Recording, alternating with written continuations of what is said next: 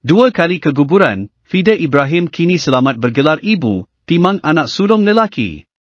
Alhamdulillah, isteri saya telah selamat melahirkan anak sulung kami, bayi lelaki tengah hari semalam tanggal 6 Rejab 1445 bersamaan 17 Januari 2024. Syukur dan terima kasih buat semua yang sentiasa mendoakan kebaikan buat kami sekeluarga.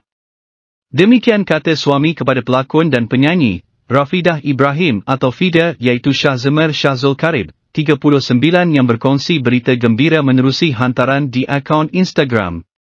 Selepas sekian lama menanti, akhirnya Fida kini bergelar ibu apabila selamat melahirkan anak sulung lelaki pada tengah hari, kemarin iaitu 17 Januari 2024. Pada awal November tahun lalu, Fida membuat perkongsian, di mana dia mengesahkan hamil kira-kira 25 minggu atau 6 bulan di Instagram. Dalam pada itu, Fida meluahkan rasa syukur ke hadrat yang esa apabila impian dan rezeki untuk hamil menjadi kenyataan, sekaligus hasrat menimang cahaya mata dimakbulkan Allah selepas pernah dua kali mengalami keguguran. Alhamdulillah, saya amat gembira diberikan peluang lagi oleh Allah untuk hamil dan seterusnya akan menimang cahaya mata kerana saya dan suami tidak pernah putus berdoa selama ini. Apatah lagi, ketika alami keguguran dulu, ramai yang mendoakan saya dan memberi kata-kata semangat.